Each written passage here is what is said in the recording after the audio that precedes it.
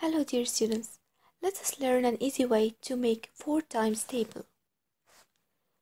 The first thing to do is we write 2 times table and 2 times table is so easy. So 1 times 2 equals 2, 2 times 2 4, 3 times 2 6, 4 times 2 8, 5 times 2 10, 6 times 2 12, 7 times 2 14, 8 times 2 16, 9 times 2 equals 18, 10 times 2 20 and 11 times 2 22 and 12 times 2 is 24 so the first thing is to write 2 times table. The second step is that I get any number multiplied by 2 then I add it to itself to get how is it multiplied by 4 for example 4 times 4 I don't know 4 times 4 but I know that 4 times 2 equals 8 so I will add 8 plus another 8 and I will get the answer 16. So look what did I get here. I get 4 times 4 equals 16. This is 4 times 4.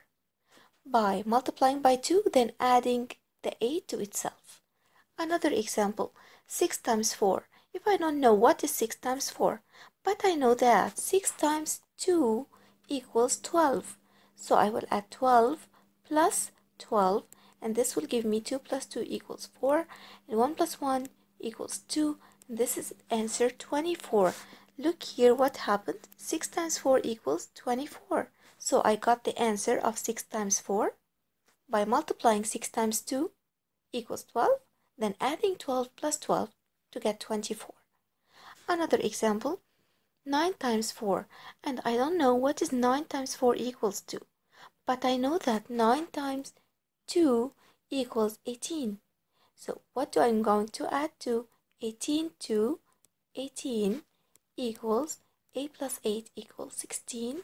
Carry up 1. 1 plus 1, 2. And 2 plus 1, 3. So the answer is 36. So I got 9 times 4 equals 36. Let us have, for example, 7 times 4.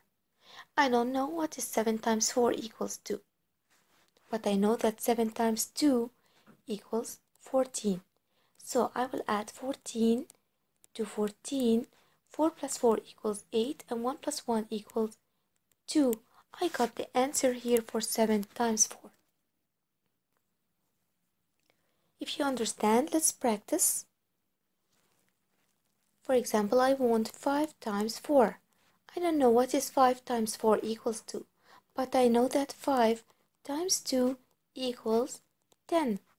So I will get 5 times 4 by adding 10 plus 10 equals 20. So this is equals to 20.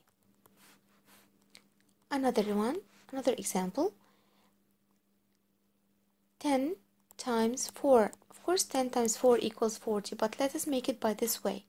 We know that 10 times 2 equals 20. So 10 times 4 equals 20 plus 20, which is equal to 40.